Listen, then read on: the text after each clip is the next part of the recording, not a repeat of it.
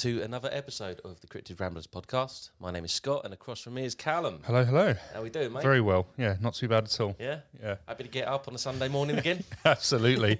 Absolutely glad to see the end of the week, that's Yeah. for sure. Tell me about it. Tell me about it. It's been a hectic couple of weeks for for me on my part, at the very least.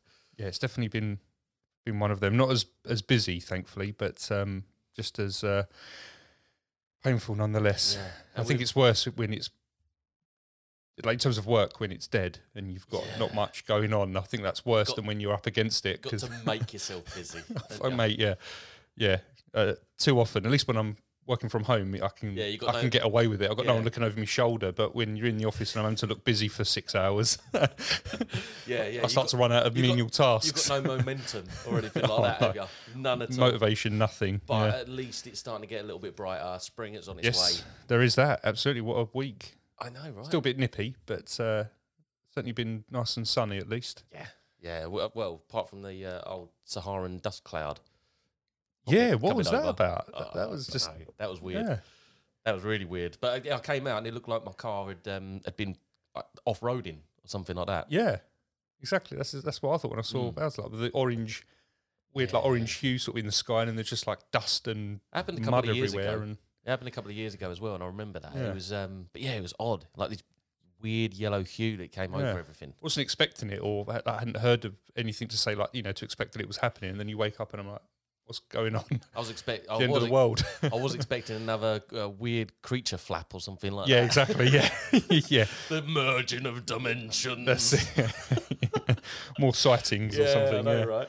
absolutely. Yeah, so um, yeah, it's been an interesting It has. Read up on, on this particular one, and obviously this is followed on Yeah. from uh, El Chupacabra, It and, has. and uh, Yeah. we're we're we're certainly going to be looking back on maybe one of our older episodes, one of our first episodes. A couple, I- think. Certainly from what I've I found, there's there's Mm. going to harken back to well three episodes, I guess, if you include uh, Oh, Chupacabra from from Oh, last yep. time. Yeah, Yeah, but I mean, be, um, we'll be mentioning uh, old John Keel and uh, John the Kill, Mothman yeah, is Mothman. Yeah, a couple of different connections, and maybe even a further theory on yeah, Mothman as well. and a, and a yeah supposed link, and uh, and also the uh, the Men in Black Oh, supposedly Men in uh, Black turn up. turn up. Yeah, Oh, for one that I found from not that long ago, um, Nice. as well uh, from the uh, other side of the pond. So um, yeah, Well, some, that is ten, where they tend to knock about, isn't it? yeah, more often than not. Um, so yeah, yeah. So it's going to be uh, it's, g- it's going to be a good one, Sweet, I think. excellent. But before we do get into it, Indeed, we've got to say a big thank you to our Patreons. we do. We've got James, Justin, and Monica. We have Uh, yes. Thank you very much for your continued support, guys. Thanks, very, guys. Very much appreciated. Much obliged. Yep. Um, and also, guys, go and check out our merch store. And that's buythatmerch.co.uk forward Yep. slash cryptid ramblers. That's it. Yep. Go and check it out, guys. They've got some great designs on there. Uh, we've had uh, a bit of interest in there as well. Yeah, we have. Yeah. And um, I'm going to add a few more different colour schemes as well. Yeah, a few colour schemes and a, a couple requested. of um, couple of simpler um, sort of designs Mm. um, that have been sort of yeah suggested by listeners. We're thinking So, uh, uh, utter nonsense yeah, in yeah. particular. That's definitely going to get a T-shirt. Yeah, yeah, if you're going to get a t-shirt, it better say utter nonsense. it's got to be that one, isn't it? Yeah. Yeah, even it, even it applies to everything. everything right now, yeah, everything absolutely right now, everything. utter Yeah. nonsense. Oi, pack it in you. It's utter nonsense. exactly. We could even make it a charity t- T-shirt with the way things are going. Oh blimey, wouldn't we have to? Good grief! Dear oh Lord. Did you see- Yeah. I saw. Did you see that uh, old David Cameron had uh, jumped in a lorry? Was driving over there. You won't. No. Yeah, David Cameron. Really? Yep, David Cameron was doing it. Well, Would you have a, a Well, pig in the passenger seat? there was cer- there was certainly a picture opportunity. well, it's a long journey. it's a long journey. Might get might get a bit lonely. At least have a ham sandwich.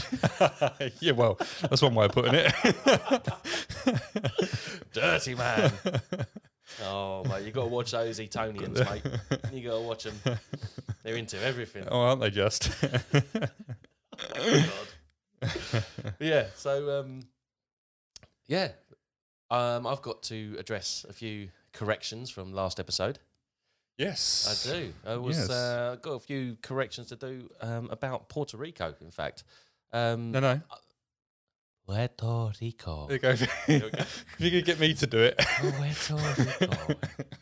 or Puerto Rico. yeah. Or you still haven't Sorry. done it. I know I haven't. I know. You- you're- I know. You're not braving it, are you? I know. I'm not. Mm. Oh, Jesse. but yeah, so um, I think uh, in a little bit of my own ignorance, really. Um, I, I think I, un- I understood certain amount of it, like with regards to being able to vote and whether or not they were citizens and everything. So Mm. I knew that, that Puerto Rico was um, a territory yes. of, of the United States. Um, and I, I understood that they were citizens, but I understand as well that they can't vote on on the presidency when they live in Puerto Rico, but they can if, If they they're move- mainland, If they yeah. become if they move onto the mainland, um, active military can vote. Mm. Um, retired military can vote as well, um, regardless of Mm. whether or not they're on the mainland or Yeah. in one of the territories. So, Mm. um, but yeah, so when I say like almost like a dictatorship sort of Mm. thing, I, mm, it's as, as such. But I think that was more so a tongue in cheek sort of offhanded Ah, comment right. that I made. Gotcha. So, no offense meant, Cool. guys. No, it's all No good. offense meant, all you know, good. but it was uh, just out of my own ignorance, I guess. Well, we're here to learn. I think. Well, I think ignorance is probably being a bit harsh on yourself, but we're you know we're here to you know we're here to learn. So like with anything, you know, if we say something that isn't you know quite right, then please let us know. And I'm uh, never too proud to uh, stand up and No, admit Absolutely. A, admit a mistake or where I'm wrong. So absolutely. yeah, Indeedy. try and better that, guys. exactly. Yeah. and I too am incredibly humble. What a guy. What a guy. What a guy. So, guys, we've been looking into gargoyles, gargoyles, and gargouille, whatever they may be called from Absolutely. around the world.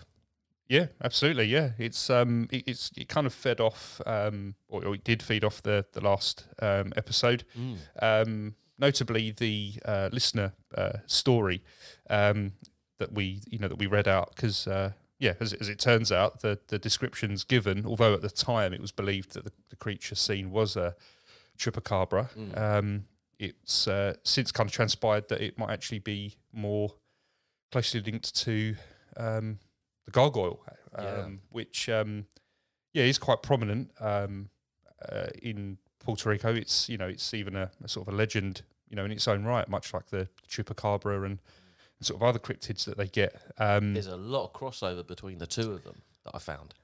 And yeah, there's a lot. I had to steer clear of Puerto Rico myself when I was looking into it because all I was finding was just El Chupacabra.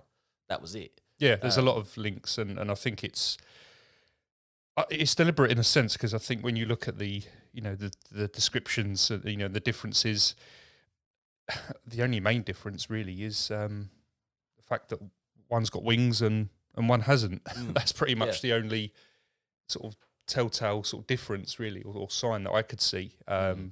based on the the physical um, descriptions at least. Um, but yeah, of course, it, it it you know translates to you know other parts of the the world. Mm. Um, you know, with a possible origin of in uh, La France, Yes. Yeah. um, you know, and stretching you know over to the states and other European countries um, as well. So yeah, it's um, yeah, it's taken us far and wide this one, I've which found is uh, which is um, good. I found three particular stories that have come out of Chile um, that Right, seem okay. to be around well the early two thousands anyway. So Right. it sort of coincides with the sightings that we have in um, in Puerto Rico Mm. in the the mid to late nineties. There was seemed to be another weird uh, Yeah. creature flap, Yeah, um, and this might be the tail end of it. yeah, Um, Yeah, I've possibly. come across. I've come across a theory as to why these these um, uh, strange flaps, te- like they tend to happen. Like they they'll Yeah. they'll suddenly appear, yeah, and it will happen for five, ten years, whatever, yeah. and then it just they stop almost as sudden as they started. Mm. Um, I came across a, an interesting theory, which I'll go on to later on. Nice. Okay. Well, I've, I've got three kind of stories, I guess, as well. Um, one is sort of French myth. Um, one one takes us over to Texas. and um, one uh, brings us back to uh, our uh, our shores. Oh, really? Good old Blighty, yeah. Blighty, Which yeah. uh, when I when I read it, you'll you'll know why it, it piqued my interest. But I think it will. Uh, yeah. yeah, I think you'll like it. Oh, okay. I, I, with all the prior research I'd done on that particular subject, Mm. this has never come up until I started searching goggles specifically, and then it was like bang, like theory. okay, and, now, now you, yeah, you you have piqued my interest, sir. yeah, you'll like it. You'll like it. But um, yeah, before we get into all that, because we're sort of jumping ahead of ourselves yeah, God. through the excitement, Little breadcrumbs. um, just to yeah start with some of the kind of the basics for those that that don't know. Um, now there are a number of definitions um, of the gargoyle, and I'm sure we all know you know at least one of them. Um, the most uh, likely one that everyone's going to know is is of course the the architectural meaning, but then there's also the cryptid sort of fantasy uh, definition, um, as well as the uh, you know a local um, sort of definition to to Puerto Rico as well. Although it, from what I can see, it didn't necessarily originate sort of from there, which is quite um quite telling of how prominent it is in that that sort of Mm. region. Um, now, in terms of the architectural definition, um, this like I say, this is the one that I think most people will, will be familiar with. Um, in design, they are typically carvings of grotesque figures, faces, or creatures that are perched along the rooftops of buildings. Um, now, the original purpose being um, that they would direct um, excess water that would build up on the roofs of, of buildings or in uh, guttering and direct it away from the building to prevent water damage, basically, um, because of the type of stone that was used in um, sort of very early construction. Constant water flow would eventually erode all of the stone away, Yeah, and a lot of it was decorative as well. So it was to prevent, um, it was to prevent erosion, basically, which is why um, the the gargoyles would be hollowed out. Mm. It'd be a it'd be a, a drainage Yeah, system. so most most buildings would have been made out of sandstone. That's it, sandstone. Yeah, yeah, so and obviously water would have just Would yeah, literally washed it away Yeah. over you know over time. Um, uh, and interestingly, um, or I thought so at least, it, it wasn't until the seven. I think it was, it was as recent as the 1700s, like 1720s, that um, the uh, building regs in London um, actually made it compulsory to use um, what we now know as, as downpipes. Oh really? Yeah, but up until then, they were still using Just forms offs. of gargoyles, basically, yeah, or, or some sort of yeah drain off uh, from the Oh, roof. Okay. So it was quite interesting. Um, now, although that's the intended purpose, the more popular belief is that they were used to protect the buildings from evil spirits. Um, and the open mouths of the, the gargoyle were symbolic of them um, sort of devouring um, sort of spirits. Yeah. Basically. It's So like you'd the- find the them great on. maw would be the thing that would actually um, repel the, the evil spirits. Yeah, yeah. So you'd find them typically on sort of church church buildings, Mostly on churches, really. Gothic churches, and, and that kind of thing. Um, and so yeah, that's the kind of the holy belief, I guess, is that they're actually a protector of you know the building. Mm. Um, where it's actually just a waterway. Yeah. in in Well, I guess in, in- in theory, Well, yeah, in theory. I mean, I like based on its I intended like purpose. where that come from, the story of where that came from as well, um, which is Yeah. really quite old. It's about fifteen hundred years old. The story itself of uh, it was uh, Saint Romanus, wasn't it? Uh, yeah, that's the the French myth story. Um, that I've that I've got. Yeah, La, La yeah. Um, definitely saying that wrong. yeah. Pretty, oh, yeah. Absolutely. Yeah. I struggle with English. Never mind anything else. Um, now, yeah. So that that's the the the sort of the more popular understanding of what a gargoyle is, um, based on the sort of architectural nature of it. Mm. Um, we've of course then got the cryptid slash monster version of the definition, um, which in fact was inspired by the gargoyles that you see on the the buildings. Um, the from what I could see, the first fictional story that was actually taken from stonework um, was written in around 1932, um, and it was based on a um, where a stonemason accidentally infused all of his hate and lust into these two stone gargoyles, um, so much so that they then sort of came to life. And when he tried to destroy them, they killed him. Gotcha. And so that's where they got the kind of the monster sort of aggressive Mm. sort of tail, I suppose. Yeah. Alien of the underworld sort of thing. Yeah, pretty much. Yeah. Gotcha. Um, in in in true fashion, at, at some point later in the sort of 1900s, Disney swooped in and uh, obviously created the, the TV show Gargoyles, which depicted them in a much nicer kind of human friendly um, sort of state, I guess. Yeah, great cartoon. Yeah, brilliant. yeah. I don't know how. It, I mean, I remember watching it when I was a, a kid, which obviously would have been around like sort of the late eighties. But I don't know if it if it No, came it out sooner than that, uh, like earlier than that. Later, sorry, like yeah. the seventies or something. No, no, no, it wasn't. It was it was more of like a '90s sort of cartoon. I remember. I was nineties, was it? Yeah, oh it right, later okay. Mm. right, okay. Um, now in terms of description um, of what a gargoyle would look like, again, most people could probably decipher from you know what the the stonework um, would look like. Mm. Um, but but generally speaking, um, it's a, a winged uh, humanoid with demonic features. For example, horns, tail, talons, um, and sometimes they're even depicted with uh, with beaks. Yeah. Um, but then, obviously, drawing from the similarities to the chupacabra, um, yeah, it's, it's you say they about five to seven feet in height, um, winged, you know, red eyes, Mm. dark figure, um, and yeah, it's just th- that sort of humanoid stature which seems to sort of carry through um, Yeah. all of the descriptions. It's one of the kind of In fact, uh, like- consistent ones. yeah, that's us. I've, I've with the ones that I found, like the the the encounters that I found, all of the descriptions are the same, which makes me think that Yeah. with it being geographically similar and uh, uh, time wise similar, Yeah, that potentially it could be the same creature. yeah, I mean that's certainly a strong belief. Um, you know, certainly in, in Puerto Rico, as as I've sort of uh, recently um, found out, as I know you have as well, Mm. um, is that yeah, you've got chupacabra, gargoyle, mothman. They're all kind of one of the same because you rightly say their descriptions match from region to region, Mm. and they were all you know spotted around the same sort of time. Yeah. just different you know sort of parts of the world. So is it the same you know creature? You know, traveling and using that whole interdimensional thing that we've discussed before on on here, um, or is there more than one of them? I well, And they've sort well, I did find uh, one uh, that had uh, saw two of them flying about. So potentially okay. it could be.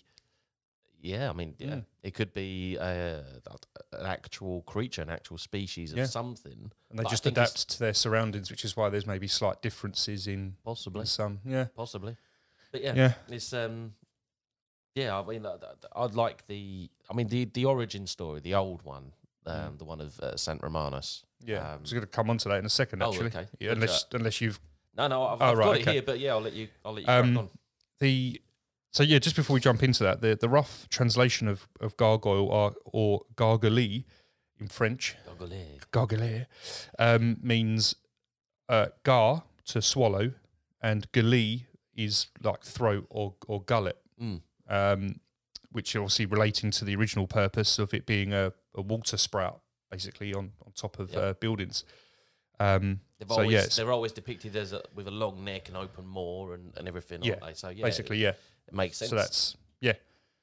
So that's um, yeah. So that's that. But yeah, going on to um, yeah, obviously you, you know what you're rightly saying. What I mentioned uh, sort of at the start in in French myth, la gargouille was a dragon with bat-like wings, a long neck, and the ability to breathe fire.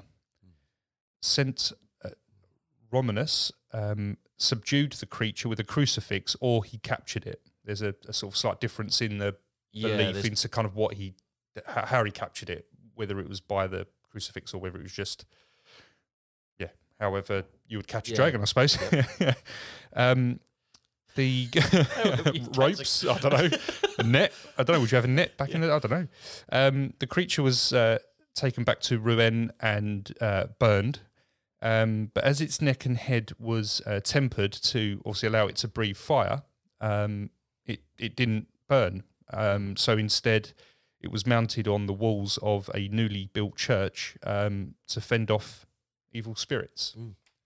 Yeah, And, and, so that's kind of that's what I found um, as the as the true origin. But then the idea of um, the architectural sort of purpose of these creatures goes back to um, Egyptian times, in where they actually might not have been like this weird cryptid look, looking creature, but they certainly used the head of a lion for the same sort of purpose yes, yeah, yeah, that was um, being used on these churches now. Um, one one of the things that I found that I thought was quite interesting with with that story was the Yeah. other either he subdued it with a, a crucifix Mm. or he ha- had the help of um, a single volunteer who was a condemned man. yeah, Um, so Yeah, he was that. he was ready for the gallows sort of thing or the Yeah. or the guillotine. Uh, to whichever it save his head. Yeah, to save he went and head. hunted a dragon. Went and hunted a dragon. I'm going to hunt a dragon. Anyone want to come with? Yeah, I'll do it. Yeah, yeah, I'll get out of here. Yeah. Even if I bump you on the head and, and get out of here, I'll yeah, cracking Yeah. mate. I'll do that. Um, but what what was great as well that I thought was um, Yeah. that in commemoration of Mm. this story, the. Archbishop of uh, Rouen um, are actually granted the right to free a prisoner on the day of the uh, reliquary is Right, okay. brought into procession. So a reliquary is a is a, a box with relics in it. Right, So it would hold the relics of St. Romanus. right, okay. And when that was brought through on procession, the Archbishop had the right to release one prisoner. Wow, it still what- does. Still today? Still or- to this day, yeah. wow, okay. Yeah, which I think is quite interesting. It's quite cool that they've sort of kept that. I can't imagine it would. My would- name's it- Brian. yeah, and I'm the Messiah. Uh, so is my wife. That's Yeah. what, yeah, you know, it's like I think I thought that was quite quite an interesting yeah, fact. and I like that actually. Yeah, I didn't. Um, yeah, that I didn't find. So I, I yeah, I like that. So It's, it's surprising that they still do it. You know, sort of to this day, especially when you consider what people were put away for back then is probably very different to what they are yeah. now. So Well, yeah, I mean, you'd have to be like petty theft or something like that. That you know you get let off. that's right. Yeah, yeah, you can't be doing that anymore. yeah. But yeah, I've, I've with that story and everything, I look at it in a different light. I see it as you know the, what I've brought up previously in Mm. other episodes about the allegory of it. You know, Yeah. Mm. the dragon being the serpent and the serpent worship, the Christian coming along destroying the, the serpent. Yeah. It's um very much like uh, St Patrick driving the snakes out of Ireland, sort Yeah. of thing. Um, so yeah, probably not really going out there. Probably not what happened. Going out hunting for not getting off a dragon or anything yeah. like that, but. probably something that symbolised the evilness of a It's of a dragon, probably it's Probably a- more so a to person. to to guard off the, the pagan gods, yeah. possibly. Yeah. Seeing as they often built like Christians often built uh, churches on pagan sites. Yeah. As well. Yeah, exactly. Um, so I suppose just to go into a couple of encounters, unless you want to kick off with with one. I've got, I've got. Um, you yeah yeah you crack on Yeah, okay. because I've got a few little bits and pieces I want to say and then I went on my Oh, right, okay. encounters that I found. All right, I'll just um, yeah, chime in as and when, Gotcha. as always. Um, so in 1986, a NASA activist by the name of Frank Shaw um, had a run-in with a mysterious winged creature. Um, he was walking from his car after a long shift from the basically one of the space center buildings across quite a long car park to to his car. Um, when he looked up above him, um, which he says a feeling over sort of come him that make so he was compelled to look up. Yeah. He had no other reason to, but there was just something in him, this kind of deep rooted feeling that was just like, Mm. look up. Yeah. and so you know, and so and so he did. Um, and he saw a black humanoid figure perched up on the edge of one of the space center buildings that he'd just um, exited from. Um, he also claimed that it had two massive uh, bat-like wings either side of its torso. Um, now, the description given has been linked to at, at the time of writing this. It was linked to the Mothman, um, which we've uh, we've obviously we've already mentioned. I do know Um, this story, but rem- remind me when abouts it was. Was it around about like the sixties going into seventies? No, uh, uh, eighty six. Oh, it was eighty six. Sorry. 86 yeah yeah um uh, and quite random, because this was an American website. It's even been linked to the Owlman of Cornwall. Owlman of Cornwall. So I think we've got our next episode. the Owlman of Cornwall, honestly. Um, and I'm pretty pretty sure. Yeah, very good. Who? I'm pretty sure I've. Um, there's a there's a it's either a guy or a, a amateur like film Yeah, company on talking about. YouTube. I'm pretty sure they've made a horror film about the Owlman. Yeah. Is he Um, like dressed in like a suit sort of He's thing? in like innit? a old, yeah, like a sort of Victorian looking kind of suit with just a giant owl head, Yeah. basically like humanoid owl owl figure. Um, Yeah, I've seen that. That's, that's Yeah. cracking. They It's like, great, A couple is of good. jump scares. a couple of videos of yeah, yeah, no, exactly. Uh, it might be that. I think that might have been in Russia. I think I don't know, but yeah, Certainly on the continent. yeah, but no, it's yeah. So we might have um, already found our next episode. Um, but uh, but yeah, so not just the description of the actual figure itself. So you know, sort of tall, dark figure, winged, you know, red eyes. Mm. Um, the other sort of link between all of those is the feeling of irrational fear in anyone who witnesses these creatures, and that's exactly what he. That's exactly what he had when Mm. um, he had that sort of compulsion to look up, even though he had no reason to, and just saw the figure That's weird. sort of perched up there. Um, now, Shaw claimed that the creature seemed to take joy in the fact that he was filled with terror, so it was it wanted him to look at it, so Mm. he so the creature could watch him like shit his Ah. pants, more or less, Maybe feeding off of that fear. feeding off the fear. Yeah. Um, so at this point, um, Shaw uh, claims that the creature unfurled its wings and flew off. He jumped in his car and drove in the darkness uh, home. He was too scared to look back to see if he was being followed or even turn his headlights on. He just Just screamed home. Yeah. um, when he returned home, he told his wife and, and daughter, who who believed him, um, you know, much against their their own sort of better judgment, but because of how he was as a person Mm. and how shaken up he was, and just sort of how irrational he was being, they had no reason but to believe him. Gotcha. really. Yeah. Um, but they asked him to not tell anyone, um, especially his superiors uh, at work, um, through fear of being mocked uh, or you know even worse. You're crazy, Johnson. Cra- yeah, You're exactly. Yeah. fired. yeah, yeah. Do you know what? It's funny you say that because it's actually called Johnson Is Space really? Centre. um, so, so Frank agreed um, with his wife and daughter. Uh, didn't tell anyone. Um, however, weeks uh, passed, and the interaction was was driving him mad. That you know, 'cause he wasn't able to share it. He couldn't, you know, sort of talk to anyone about it. He was just kind of, you know, stewing on it. So eventually, he plucked up the courage and did decide to tell um, one of his superiors. Mm. Now, to his surprise and delight, uh, to an extent, uh, he wasn't met with mockery, but instead support. Oh, that's interesting. His superior even admitted that he wasn't the first employee at Johnson Space Center to report such a sighting, but also that they had opened a secret file on it based on the n- number of sightings from members of staff. Um, but the the actual reason why they opened the file was on the basis that two of the space center's German shepherds um, were found brutally mutilated um, around the, at the same site of um, Shaw's sighting, so somewhere around the car park. right. Um, Well, that definitely ties in with all the other stories that we've got with this. yeah.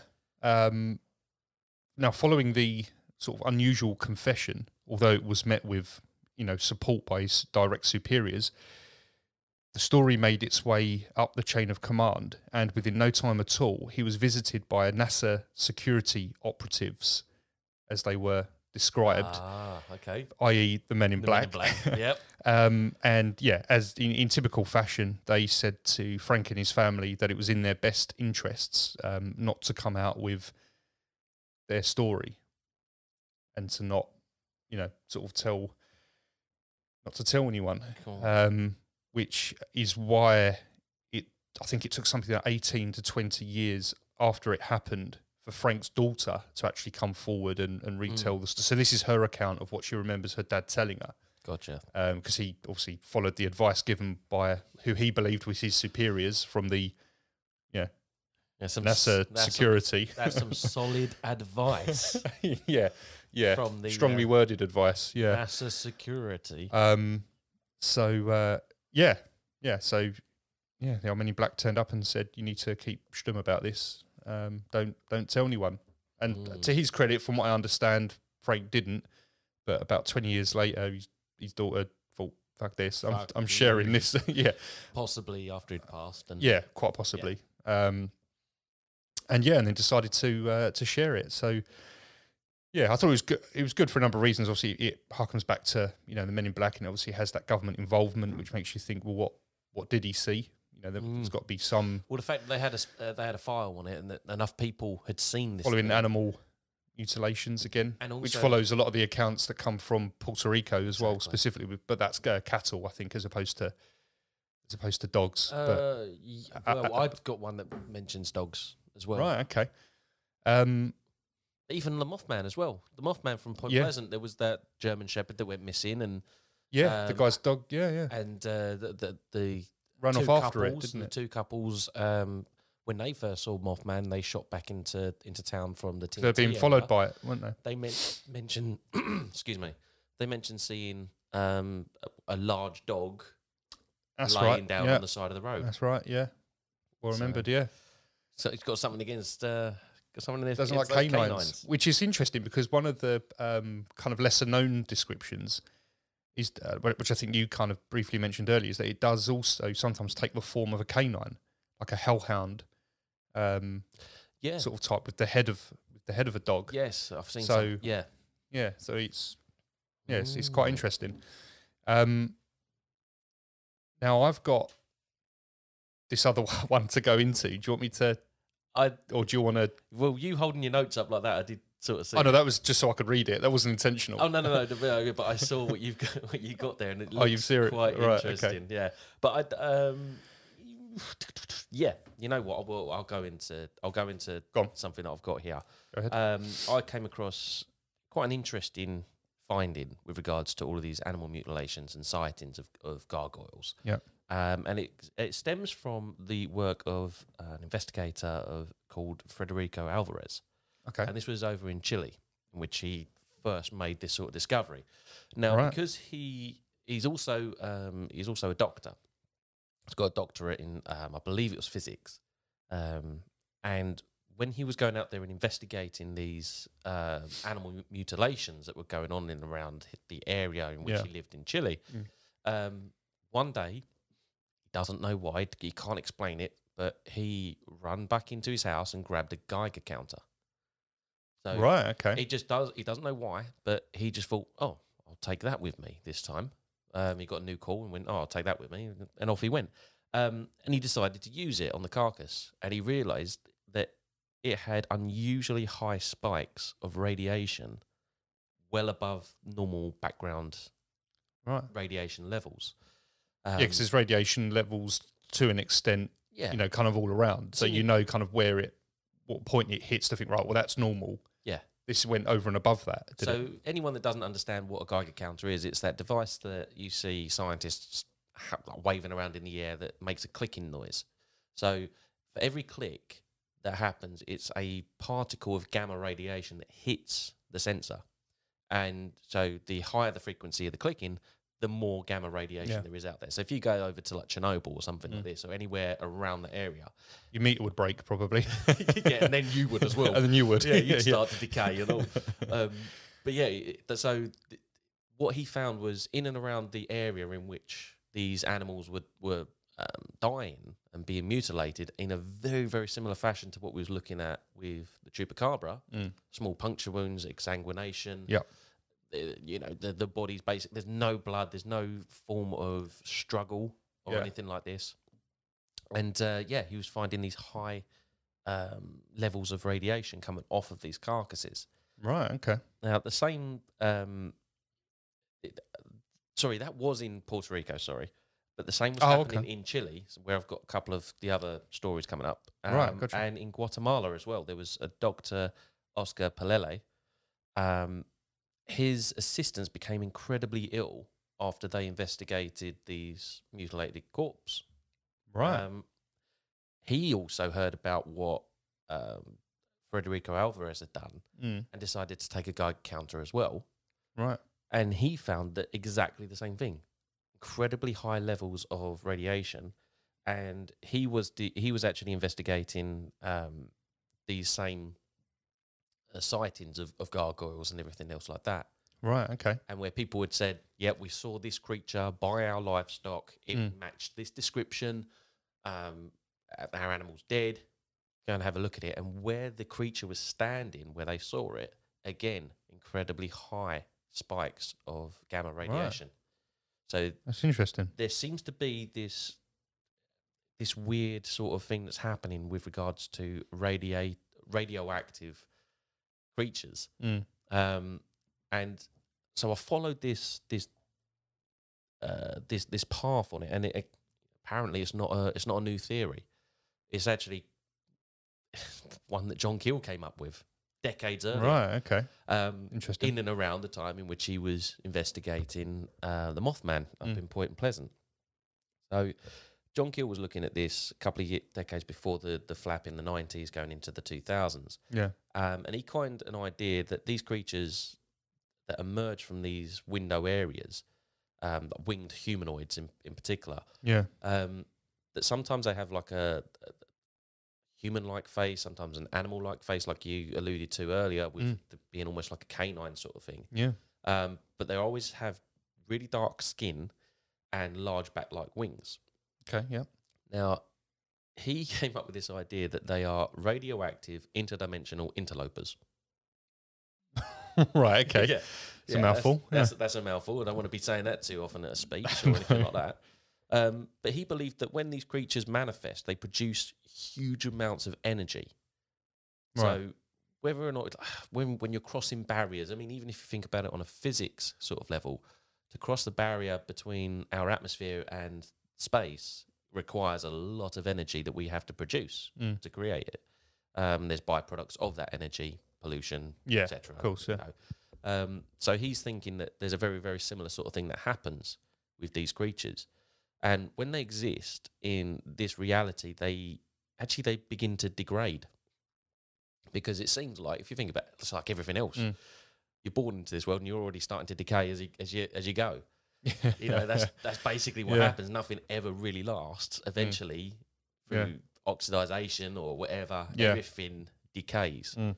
Um, and one way that he believes that these creatures are decaying is um, unstable atoms breaking down and losing energy in the form of radiation. Um, In Right. particular, ionizing radiation. Ah. So ionizing radiation is um, is what occurs when um, when these atoms break down and the electrons start shooting off and they interact with the molecules in the air, which creates a glow. Mm. Um, and we can see, oddly enough, we've seen this happen at the Great Pyramids. Right. Okay. There's um, there's been some images that people have been able to capture that there's this weird blue glow at the top of the Great Pyramids in Giza. Right. a Okay. Great Pyramid of Yeah. Giza. Um, but there's they've been able to see it in other places as well. When when I looked at this, I, it instantly made me think of of the Mothman Mm. with regards to this radiation. People becoming sick because of radiation. Now, do you remember the the, the story of the young girl that had her eyes burned when she looked at the Mothman for too long? As she was looking at it through the window, Right. and her eyes were Yeah. burned Yeah. and John Keel even made a made a distinction that he thought that maybe it was some form of radiation burn. Yeah. Um, so that's what made me think. Mm. Like, hang on, that's a bit a bit strange. That Yeah. A bit too close to home that one. yeah, With he the might have actually been, similarities. he might have actually been onto something there Yeah. with it being a radioactive creature. But because of who he was and what he was into, people just Yeah. naturally discounted it. And unfortunately, like later on in his life, he he really lost a lot of faith in the work that he'd done, and Mm. he'd basically decided that it was all for nothing, which is a shame, really, Yeah. because he did some fantastic work. He produced some brilliant investigations. Yeah, definitely. He did. Um, but what I found quite interesting about that, that that could actually, the idea of them breaking down and, and decaying on Yeah. a radioactive level, could actually answer a lot of things.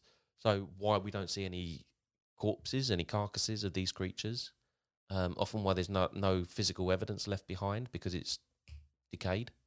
Yeah, You know, it's it's Yeah. it's a that Could be, yeah. could be it. I mean, very much so. Yeah. also if you think about the idea of these these window areas opening up, these portals opening up and allowing these creatures to move in and out.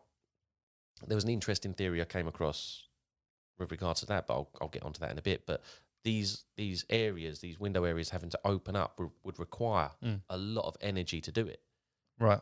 Whether or not it's electromagnetic energy or radioactive energy, Yeah. um, but potentially that could be that could be an answer for why these flaps occur. Because it's, Yeah, true. radiation is something that comes up as well. And we we often forget about this when we're looking at these high strangeness Mm. encounters. So the lights in the sky, the UFO activity, Bigfoot, and stuff like this. Yeah. radio radioactive or radiation um, is something that crops up quite a lot as well. And it's Yeah. Often than not. guilty of it myself. I often forget about that part Mm. of it, um, and and don't look into it. Um, but the theory that I came across with regards to these interdimensional creatures was it was on a bit of a like a a new age sort of website, a bit of a new age forum. So I won't get too flowery with it. um, it's, it's about the idea of there being um, vertical and ho- and horizontal hierarchies within infinite universes. So Right. think about it like this. So I'll try and describe it. So if you've got infinite universes that exist alongside each other Yeah. and all the way down infinitely, Mm. but they exist on the same plane, Mm. then the idea is that creatures can and people, energy, Mm. matter, um, can travel and move between them Yeah. um, with a, a cost sort Yeah. of thing. So there have been stories about people moving between dimensions and, and the There's one in the um, Arctic, isn't there? Because we're on a flat Earth. That's what people believe is on the other side of that ridge. oh, the Antarctic, the ice wall. sorry, Antarctic. Yeah, the, ice, wall. Yeah. yeah. You don't want to go to the middle. You Over want to go the to the outside. Yeah. Yeah, go over the wall. Bros before hose. Crows before hose, wasn't it? Crows before hose. yeah. John Snore. John Snore, bastard. Bastard. so yeah, so the um, the idea is that these creatures can can move on a horizontal hierarchy. Okay, uh, but Mm. it comes at a cost. So there's always going to be a decay of the energy, the matter, or or, or something. Now the the vertical hierarchy is where they talk about like transcending into energy. Mm. You know, in that way, if you are energy, you are able to, to sustain yourself, sustain your existence, etc. Um, and it was uh, I remember coming across a similar sort of theory to this, um, and it was written and I made a note of it by a researcher and author called Dan Mitchell, and he came up with that theory that, that about humans passing between dimensions. Right. such. Okay. So whether or not that's like, um, so for instance, if these creatures were like, there's, you've got to have a way of sustaining yourself in these areas. Mm. So that's potentially why maybe when we cease to exist in this reality Yeah. and we go on to potentially another existence, Yeah. you've got to they've got to sustain themselves in some way. So that's where you get like these um the idea of like a psychic leech or something like that. Right, Just okay. drawing the energy off of someone to to maintain its existence. So it's maybe something that maybe once upon a time was Yeah. human and then that potentially became something else, like um shadow people. I was say, could, I was just going to say, it could lend itself to that phenomena, or you know, just sort of ghosts and spirits in general. That that's, paralysis. that they need that that sort of energy to manifest themselves, and Mm. that's how they travel Yeah. or appear in our 'Cause that- realm or dimension, Well, however you want to. That is something that, that comes up a lot with regards to sleep paralysis. Is that there is a shadow person Mm. in the room when they're able to open up their eyes and have a look around, Yeah, and they're often feeling incredibly drained the next day, yeah, like they've had no sleep at all. yeah, Potentially, that could be something there. yeah, quite possibly. Could potentially be it. But it's the idea as well. that These creatures, these gargoyles, chupacabra in particular, that Mm. that are drinking the blood, they're sucking Yeah. the blood out of these things. That maybe there's something in the blood that allows these creatures to exist in this reality without completely decaying. Right. Yeah. Food for thought, really. Yeah, I guess I like know, that, It's, it's, it's an idea, and um, Well, it poses a different theory, doesn't it? yeah, and again, like with regards to these um, window areas, maybe they're just opening up with enough energy to allow these creatures to move in and Mm. out. Yeah. But the moment that they close, they can't get back out. Yeah. And then they can only last for a certain amount of time before they completely decay and they Mm. cease to exist in, in this reality as well. Yeah. But yeah, I thought that was quite an Yeah, I like that. quite an interesting theory. Yeah, it's cool, man. I like that. Good work. Cheers. I hadn't seen that one. yeah.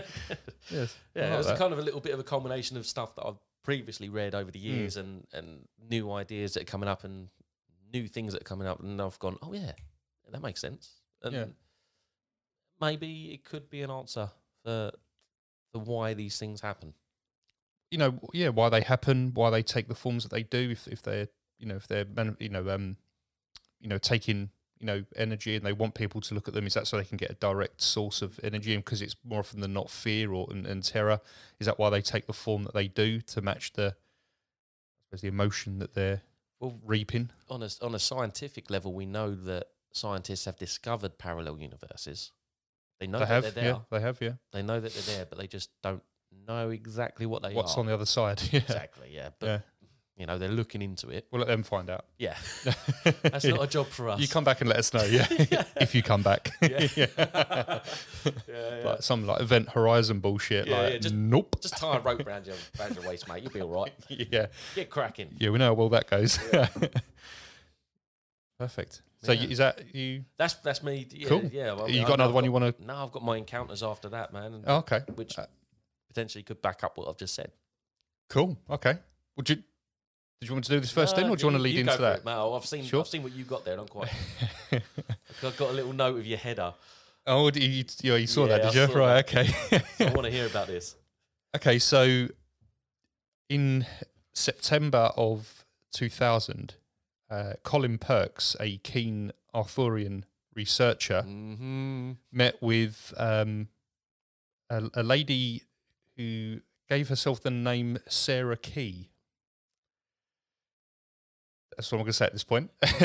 um, she basically called him completely out of the blue, um, quite, um, quite sort of panicked, quite you know, sort of hurried, but wanting to you know talk to him urgently about his you know kind of research, really kind of showing a you know an interest, Mm. um, and yeah, and basically wanted to meet him about his studies. He was initially skeptical because he was like, "Who's this lady? Why is she calling me? Like, why does she want to meet? All this kind of stuff." Like, it was completely out of the blue. he was, yeah. you know, he was out kind of researching, digging, and you know, kind of whatever else. So I wasn't expecting sort of such a call, really. Um. Anyway, he, uh, you know, against his better judgment at the time, I guess he agreed to, you know, meet with us. So a few days later, um, she arrived at his house and opening the door, they met, they, you know, sort of introduced themselves. And she advised that her superiors had requested that Perks cease any and all research regarding the legend of King Arthur. Yes, this has come up before in one of our Yeah. episodes, doesn't it? Yeah. He um he he sort of scoffed at the idea that he was being watched by you know shadowy figures, um and Is- was Sorry to. This came up in Women in Black, didn't it? This one. yeah because it, yeah yeah Because of her. yeah Sarah of her, Key. That's Sarah why Key, that name yeah. came to me head. I was like, why do I know that name? yeah um Gotcha. so yeah so completely he, he was completely dumbfounded by her request and just couldn't understand why she would be approaching him about that of all you know of all things Mm. um, he he was skeptical and you know rightly so quite you know defensive um, and essentially refused to give up his work Mm. um, until she was able to recall everything Colin had done in recent memory um, so everything regarding his his work and his personal life right down to which pub he went to regularly and what he drank Jeez. and she was able to recount absolutely everything. And at that point, he took notice and was like, "Okay, That, that's some uh, Natasha Romanoff sort of stuff. yeah, that isn't it? exactly, yeah." Um, so, yeah, so now, so after all this, he he was now a little bit more certain as to why he felt so uneasy when he took her call and why he wasn't keen to, you know, kind of accept her sort of invitation, um, you know, to meet. Um, Now, Sarah Key then went into you know quite some detail about King Arthur's um, burial site um, and the fact that it was built on top of a uh, portal or gateway. Um, it was. It's. She believes that it was constructed as a defense to prevent monsters from another dimension entering our reality.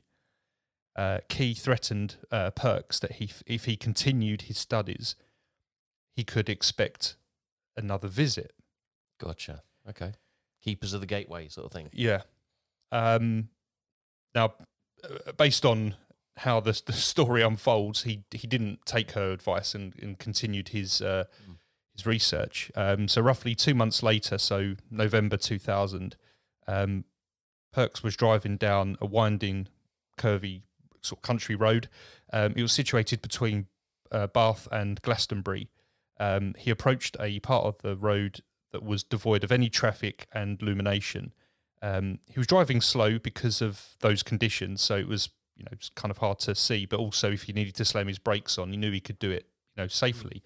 This was, of course, um, he he done that, so he, he slammed his brakes on, and this was because of a uh, horrific figure suddenly appearing in the middle of the road in front of him. Gotcha. Um, the dark humanoid figure had backlight wings and red eyes. Um, and completely terrified, he throws the car back into, you know, sort of the accelerator and with intention of ru- running the monster down. Good man. So he was like, "Yeah, no, sod this," and just Rambo in it. yeah, going to drive through it. Um, however, the creature disappeared before he had a chance to to do that. So about a week after that, the gargoyle made another appearance. This time, Perks was woken in the middle of the night by a sensation of pure terror. He was paralysed in bed, unable to move, with its uh, with its um, monstrous hand gripping both of his wrists, essentially pinning him, you know, to his to his bed.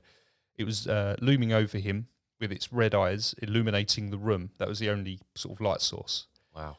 Uh, a telepathic message entered um, Colin's mind, and it again it again warned him to stay away from the gravesite of King Arthur and to stop digging in the woods.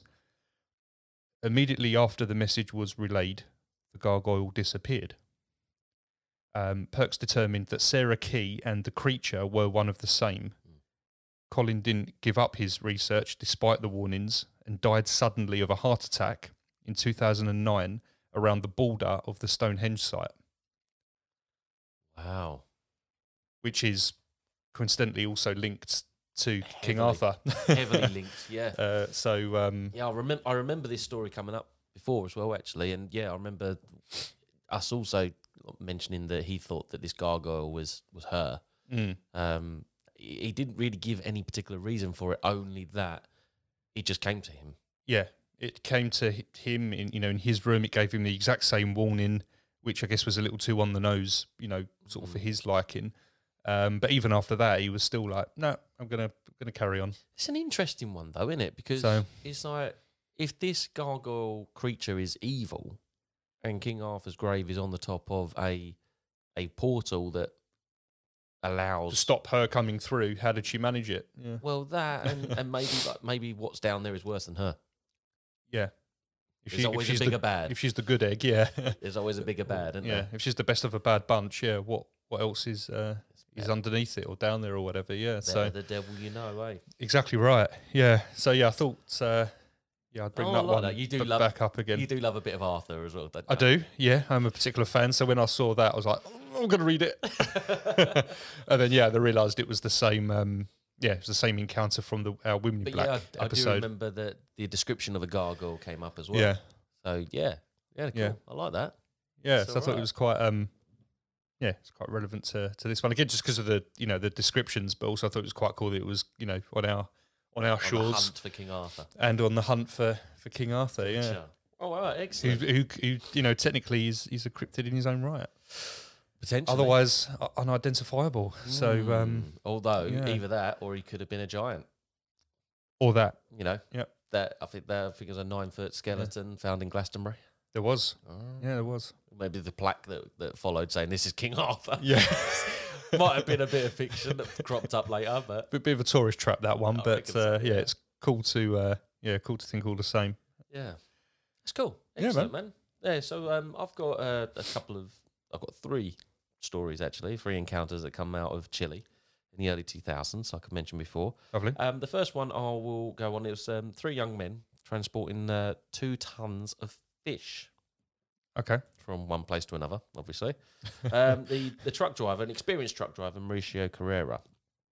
Um, A driver called Carrera. I know, right? I like it. Who would have thought it? Who would have thought? Yeah. Almost like I made it up. Honestly, exactly. Yeah. um, yeah, he's an experienced truck driver, and he's never seen anything weird. You Right. know, he, he's heard about the stories because you know th- th- there's a lot of truck drivers. They do see weird stuff. They do see Yeah. weird lights in the sky, strange things running across the road, ghosts, and the such. yeah. Exactly. Um, but in his own experience, he's never seen anything like that. right. Um, he had his uh, his mate along with him, Oscar, who's like his assistant, to Mm. help him like hooking up and, and all that sort Yeah. of stuff. But um, also, he's picked up a hitchhiker by the name of Ricardo. Okay. And It seems like that's actually quite a, a regular thing that would happen. Right. Okay. So that's always the start of a bad story, I know it's, it? it's you pick up a hitchhiker and a demon yeah. comes along. yeah. Yeah, so um, around about seven o'clock in the evening, and it's starting to get a bit dark. Um, and as they're driving along, chatting, you know, having a good time and whatnot, um, the truck started leaning to the left a little bit. I thought that this is this is a bit weird, and it, it became harder to steer, almost like the um, the wheel alignment was off. Like you, like when you hit a hit a, a particularly deep pothole, and then all of a sudden Yeah. your car is Yeah. is wanting to The camber left sort of takes you. Yeah. Yeah, exactly. So the alignment is off. It's like Yeah. an uneven load almost Right. as well. So um, they they get to like the next truck stop and they pull up, and as they as they're slowing down to park up, the lights on the inside the cab and, and the headlights start flickering, Mm. coming on and off, on and off, on and off, and they go, "What are you doing?" Like, not me. I'm Yeah. not doing it. Um, Ricardo, can you just stick your head out, go and have a look down the side just to like make that. sure. I love that because we, we're not doing accents or translations. It's No. like, wait, Ricky, stick your head out somewhere. Wait, Ricardo, mate. Yeah, come on, put your head out, stick your head out the window and have a look for us. This is a direct translation verbatim. This is exactly how it went. here, mate. Ricky, Ricardo, stick your head out head somewhere. out, mate. What's going on? So, so he actually jumps out of the out of the cab and to have a look at, down the side lights and everything, just to make sure they're still on. Right. And so then what happened was um, Oscar sees Ricardo go completely still, freezes in his in his step, and he's gone completely white. All the colours drained out of him, and he he keeps muttering, "No, no, no, no, no, no, no, no," like this. Oh no, no, no, no, no. I won't- I Spanish? won't- I know, man. I don't. I don't speak French either. Um, so Oscar does. They ask him, "What the hell's wrong with you? What, what's wrong with you?" So then they jump out, and as they go round to the side that Ricardo's on, Who's driving at this point? they're parked. oh, the parked. They're parked. I missed that bit. Keep up, will ya? I completely missed the bit where they parked up. I'm thinking, Yeah, they're God, what's slowing he, down to park. The lights start what's he flickering. getting out of the cab for? us. What's the driving? Idiot. no wonder he's saying no. He's like, oh, sh- sh- sh- He's hanging on the side of it like it's Fast and Furious. yeah. Oh, don't. yeah, yeah. We watched Nine the Yeah, other night. don't. I won't get onto that. No. That could be for the end. we'll come Rocket back. car. That's all I've got to Fucking say. in space in a DeLorean bullshit looking thing. Oh. Ah. Utter nonsense. Utter I love it. Absolutely Oh, love it. But yeah, ridiculous. so they jump Anyway. out and they go round to, to where Ricardo is and they see this huge, ugly, hairy creature. It's completely black and it's got an oval shaped head. It's got fangs hmm. Um, and it's got slanted, googling yellow eyes. And I had to laugh. Googly. You imagine the big like Your shaky head ones. you know, the, the eyes, they, they shake around all over the place. I couldn't help but laugh when I saw that. It's like, I've just got this weird image in my head. That's immediately what I thought when you said googly yellow eyes. Yeah, so try and be scared of that. I mean, they clearly were. Yeah. And it was all it was doing is it was perched on on top of the cab, and all it was doing Right. was staring at them. Now it had pointed um, pointed ears, and it had whiskers that they said was similar to a boar or a wild wild pig or something like that, and it had Okay. large bat-like wings protruding from its back. Um, like I said, it was perched on on the left side of the cab. Mm. They screamed and, and shouted at it um, before jumping back into the cab and speeding away. Right. Um, and as they as they as they're speeding along, they feel this jolt on the cab itself, and then they realise that it's launched itself back up into the air and it flew away. They watched it fly Right. away. Um, now, what was interesting about this was that their watches had stopped working all at the same time. So they'd realised that uh, no, they were Hmm. digital watches. So their watches had stopped telling the time, and when, when they came back on, they were all out of sync as well. So there's this weird electrical interference in in this particular case, um, Yeah. which I found was odd. There was physical evidence that was left behind. Right. There was physical evidence that was left behind in, in the form of a clawed handprint left on the glass, but there was also Nice. scratches and indentation on the top of the cab where it was perched. As well. Right. Okay. I mean, what I thought was weird that there was no further investigation on it. I mean, I suppose if you're that sort of way inclined, that sort of minded, you probably could take a swab Mm. of the handprint because there would be oils and, Some and sort of trace. Yeah. sweat or something like that that would be on it. You might be able to DNA sequence Or even something. pictures. Did they? Did you find any corresponding photographs or anything of? No, I couldn't find any No. pictures of it, which is a shame, really, because I don't know. I don't know if they, they would have thought in the like the year two thousand, camera phones weren't really a thing then. So we we were relying on Yeah, like true. digital Yeah, I suppose, and, and yeah. such, weren't we? In, in I suppose 2000? two thousands. Yeah. Yeah, it's we think it's not that far. I don't think it was that long far ago. back. Yeah, but they probably still had like the little windy disposable cameras, didn't Yeah. they? And- when I think of the year two thousand, I think it was like five years ago. yeah, exactly. Yeah. twenty two years ago, 20 man. Jesus. That's horrifying. It really is. It really, really is. Jesus. Right. Now, um, I found another another encounter in uh, July of 2004, and this um, relates to uh, a- a military officer by the name of uh, Carlos Debet and his wife Teresa, and they had uh, their kids in the car, and uh, I believe it was his nephew. Um, and uh, they were driving a rather large pickup, and this was nine nine o'clock in the evening, and the eldest daughter was acting a little bit strange. Um, she was being quiet, which was odd because Mm. apparently she's quite a lively, lively sort of character. But she was being very quiet. But she and she kept saying, "There's something out there. There's something out there." Right. With it being dark, there's it's chilly. There's not. There's no Mm. Lamp light or anything like that. There's no street lights or anything like this. So Right. all you've got is the headlights.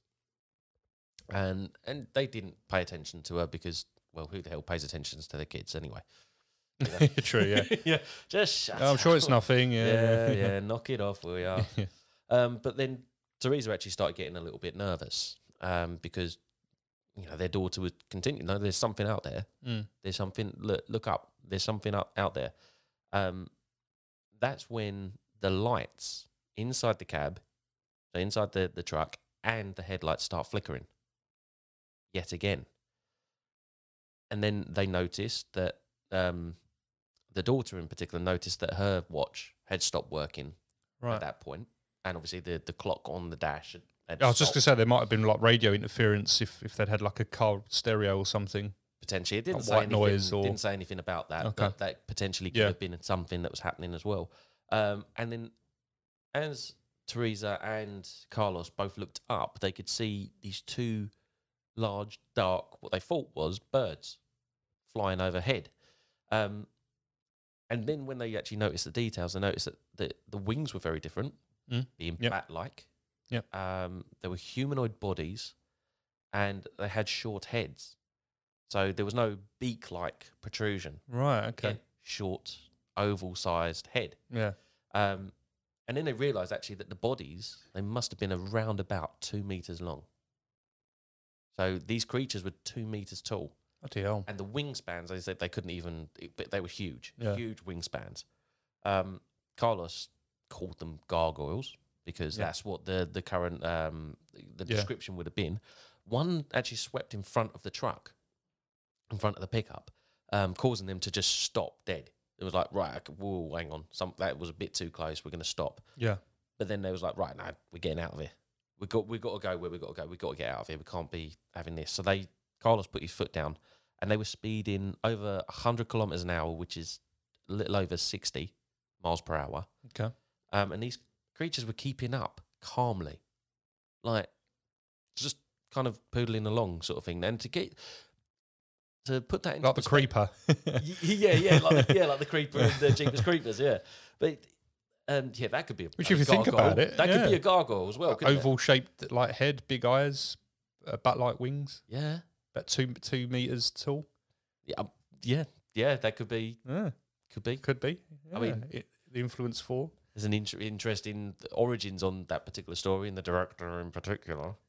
Oh, Um, right. Yeah, yeah. I'll tell you about it afterward. Oh, okay, right. Okay. It's not safe for work. Not oh, right. Okay. yeah, so to put that to put those sort of speeds into perspective, guys, like the, the fastest bird on the planet is the peregrine falcon, and it dives at a speed of seventy mile an hour. So it doesn't fly; it dives at a speed of seventy mile an hour. So that is incredibly quick, incredibly quick. But this is also very quick. this also is very similar to the accounts that we had with Mothman as well. Yep. In that Mothman was keeping up with these with these speeding vehicles Yep. quite easily Yeah. without majorly flapping the wings or anything No. like that. It's just kind of it's taking Going its with the flow, sort of thing. Yeah. It's almost like it, it's not restricted by the laws of physics, Mm. sort of thing. It's it's very very strange. Um, yeah. Very. and like I said before as well, Carlos is a military officer, and so he was telling them, right, keep this quiet. Yeah. We, I don't want to be you know, get court martialed or something. Yeah. ridiculed. But a couple of Mm. weeks later, another military officer who ref- I didn't want his name being put Yeah. forward um, said that he had encountered creatures matching the exact same description on the same stretch of road. Wow. Not only that, but there were a large amount of animal mutilations reported in the area at that time that match the same sort of description with the, the small puncture wounds and, Right. and being exsanguinated as well. So completely drained of blood. That's interesting. Very, very strange. Mm. Um, the last the last encounter that I've got here comes from um, Concepcion in uh, Chile. Right. and it was on the 3rd of May in the year 2000. And it involves uh, Liliana Romero, who is a college instructor, and she was woken by howls in her back garden around about 1 a.m. Um, she's usually a very good sleeper, um, so not much really wakes her up. Yeah. But she, a couple of couple of days before this, she had actually found some stray puppies, and she took them in, put them in the back garden, where she's got her own large mastiff, female mastiff. So Right. the idea was that the the mastiff was going to foster them. Right. Okay. something Yeah. that happens quite a lot. So Yeah. Yeah. um, she was going to do that. Um, so she heard this this howling, this this screeching in the back garden. So she got up to investigate, and she so she kind of creeped along and looked like ducked down to look through her window, and she saw the puppies crying, the mastiff huddled under a shelter, frozen in fear. So this is a mastiff. Mastiffs Yeah, are big dogs, big, and yeah. they're built for battle as Mm. well. And then that's when she saw a large, what she thought was a man, standing around two meters tall. The shoulder blades were, were split, and it had large bat-like wings that were folded down its side. Right. She thought that basically what she thought she as she was looking at it, completely shocked by what she saw. Yeah. She got this sense that it was enjoying it. Yeah. It was in, It's familiar, isn't it? it yeah, exactly. Like like the one from NASA. Mm. It was enjoying and feeding off of the energy. So like it was draining everything around it. And she just got that she doesn't know why, but she got this sense. Now this is another interesting thing. She went to try and wake up her husband. Now her husband is a very light sleeper, and he was not waking up. She was banging on the walls, banging the table, shaking him. He was not waking up. This is something that we hear about in a lot of um, alien abduction stories or high strangeness that happens, um, shadow people encounters where the sleep paralysis wears off, Yeah. and then you're trying to wake up your partner and they can't wake up. Yeah. It's like a weird sort of psychic Mm. um, hypnotism going on here. It's, it's, it's, it's very, very strange. And so, after trying to wake up her husband, she went back, and it being like a matter of seconds, so less than a minute, and the creature was gone. Yeah. So this weird two meter tall creature had just disappeared. And quite frankly, and quite rightly, she was like, I ain't going out there. Yeah. I'm going to wait till the morning. I'm going to wait till it's light at yeah. the very least. Yeah, exactly. And then Yeah. I'm going to go out there. And she went out there, and unfortunately, all the puppies had perished. And all Including of the Mastiff. no, the mastiff survived. Right. Um, however, they all had puncture wounds. The mastiff had one. Wow. Okay. Mm. And Maybe it was able to fight it off. Maybe. potentially, potentially, but the puppies all had two puncture mar- Mm. puncture marks Yeah. um, in and around the, the the neck area, Yeah. and so did the mastiff. But the mastiff only had one, so she took the mastiff to the vet, and the vet couldn't determine exactly what it was that done it. Wow. We basically said, "Oh, maybe he got it caught on a fence, Mm. something like this, like a wire yeah. fence." You know, but if that was the case, you'd do a swab, you'd see if there's any metal or anything like Yeah, that, yeah. like rust, but nothing. Or it would have a defining look about it where you could say, oh, yeah, that's a puncture wound from well, if it's a puncture wound, it's going straight in. yeah. If you're if you're getting it caught It's on something, it's going to go in and then tear away. tear or, yeah, exactly. Yeah. was no tear; it's just a puncture wound. Yeah. Wow. Okay. Yeah, It's interesting. Very interesting. I Oh. found those ones. Okay. But yeah, that, I mean, I would like to. I would like to have seen uh, in those ones in particular, someone go out there with a Geiger counter. Yeah. I think that would be. maybe very that's something that interesting. needs to happen more. Maybe when, and hopefully people sort of know about it and these things gain a bit of traction that that people start to learn that that's what I mean. Not everyone's going to have one of those Mm. counters, I suppose, but you know, Well, We was talking about this when we did the uh, the Helia saga yeah, um, way back when, way back when, and we made the point that paranormal investigators don't talk to cryptozoologists. Cryptozoologists don't talk to ufologists. Mm. You know, they don't. None of them talk to one another. They really. don't want to yeah. talk to each other. Like these, these people, they need to come together because there is something Yeah. weird happening that involves all of them. And they yeah, don't they, wanna they do could it. all use their expertise. Yeah, yeah, definitely, need to form a committee. exactly, exactly. no, I think it's no. I mean, you know, I make you right. It definitely would be, um, you know, would be worth it. Um, so just going to go into some local knowledge that we um that we touched on um sort of at the at the beginning. Um, now our um listener who still wishes to remain anonymous, um, kind of Oh, you Off- mean local, local Puerto Rico? You mean local to Puerto Oh, Rico. Okay, gotcha. um, kind of off their own back, really, which which is amazing. Um, looked through a lot of local, lot sort of news articles, um, news reports on on YouTube and and whatnot, and Mm.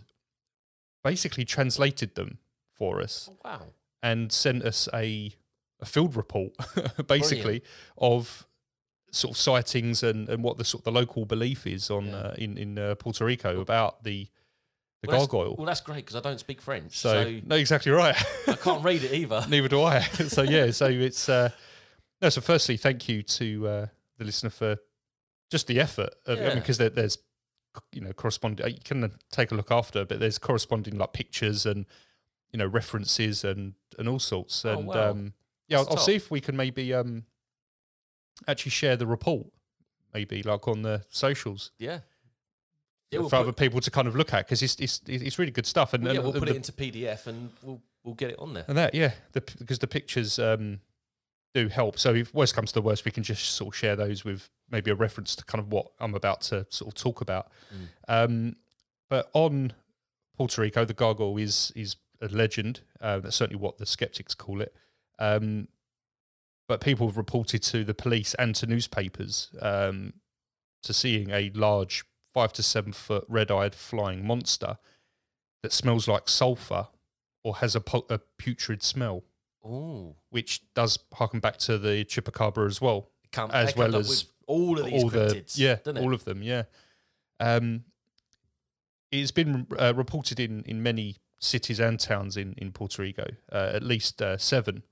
Um, now, aside from the Puerto Rican gargoyle, it is also known as the Basonaleta gargoyle. I've probably just butchered that. and the the Guanica gargoyle, Wanaka. Guanica gargoyle, yeah, Yeah. and I don't know the. La Gargola de Barceloneta. I have practiced, would you believe? Yeah. Just, uh, yeah, I just not great with go- give it- pronunciations. Give us a Puerto Rico. Puerto Rico. Yes. That's it. I'm a happy man. yeah. Um, now, Easily pleased. exactly, yeah. now, much like um, us, by by the sounds of it, you know, our listener also um, believes that, uh, yeah, that you know, Chupacabra, you know, Gargoyle, Mothman um, are one of the same, Mm. and the local reports, um, you know, certainly help uh, certainly help support that. um, they start in 2010, so again around the same sort of time period that you Mm. found yourself over in uh, in Chile.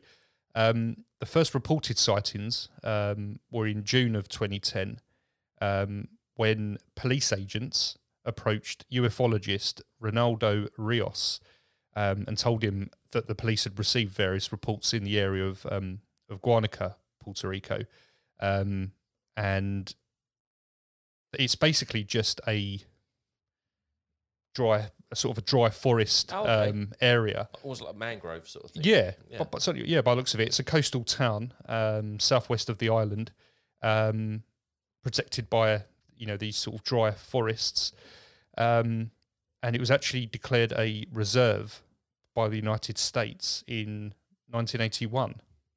Okay. Um, so believed to be of some sort of uh, agricultural Mm. importance.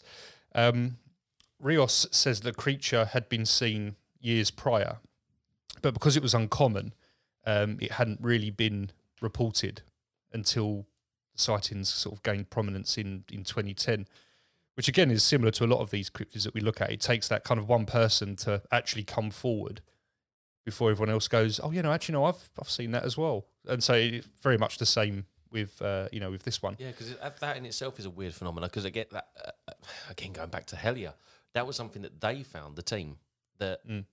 people were like, "Oh no, nothing strange really happens here."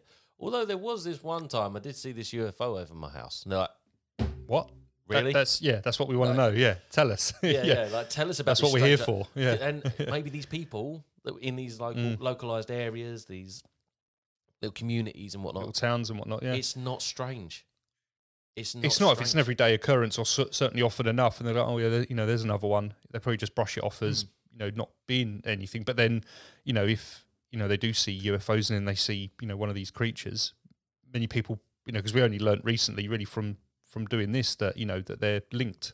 Mm. You know, UFO sightings and cryptid sightings normally happen around the same sort of time, and Yeah. that they are you know sort of linked. So maybe people don't think to make that you know connection. They're not talking to each other. Yeah, exactly. Yeah. Um, so the the reports um, spoke about a very large bird, um, which residents would hear come out at night. It would land with a heavy thump on their roofs, um, and when they came out of their homes, they saw the creature perched on their roof. Um, now, the, the one the one thing they all kind of noted in its kind of general strangeness is that there aren't any known birds on the island that exist at that size that they were describing, Mm. um, It's pretty big. which again is like five to seven feet. Yeah.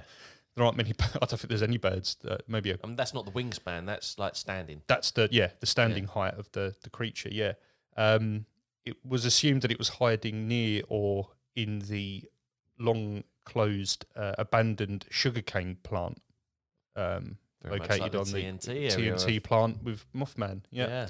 yeah. Um, and yeah, the reports always mentioned a, uh sulfur um, or putrid stench, the large wingspan, bat-like, uh, the red eyes, and again, its um, its general size, which is sort of five to seven feet. Um, Rios and other residents went on an expedition near the old sugar plant, and the ufologist claims to have seen the creature himself. This is very um, reminiscent of the uh, Puerto Rican uh, president who, with the chupacabra, Mm. put his own sort of a band of spin on it. investigators together and went out, you know, sort of hunting. Um, they were near a heavily treed area and they felt a strong wind just come out of nowhere. They came closer with their sort of flashlights and they all witnessed a large uh, feathered or hairy type bird with open wings um, that eluded them as soon as they came sort of too close and it flew away in the opposite sort of direction. Um, on December 1st, 2010, the Gargola made its first newspaper um, appearance when the uh, local newspaper reported of sightings in Guanica. Um, couldn't actually find the article, um, you know, itself. Um, but uh, yeah, it was just full of eyewitness eyewitness accounts and similarities in in all of them are the description of the creature and you know and, and kind of what they uh, saw. Um, but yeah, again, around that sort of time that it started gaining that prominence, it was given you know kind of its name.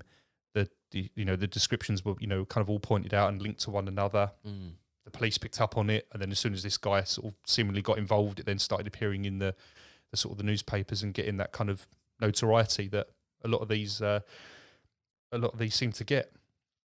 Um, yes, that was the first one on December first in 2010, and then December 20th the same year, uh, it, it came out again um, when the creature was actually um, linked to uh, the gargoyle, um, and then linked to any tragedies that happened on the island, which then came its comparison with uh, Mothman Gotcha. um, the tragedies that I think they they sort of relate to uh, things like um, earthquakes and tremors uh, and that kind of thing. Um, and then this gargoyle Mothman like creature would then appear sort of on the uh, on the island. Again, very much along like the same lines as there being a disaster in this thing Exactly. Yeah. appearing. Instead of a bridge collapsing like the Silver Bridge or anything, it was yeah an earthquake. So a natural disaster, Mm. I guess. Yeah, in in in this case.